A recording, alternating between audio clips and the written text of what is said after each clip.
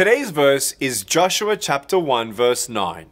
Have I not commanded you? Be strong and of good courage. Do not be afraid, nor be dismayed, for the Lord your God is with you wherever you go. My friend, wherever you are, whatever you're going through right now, know that when we go through struggles and we see the giants of the land that we are facing or having to conquer, know that maybe the giants are bigger than us, but no giant is bigger than God.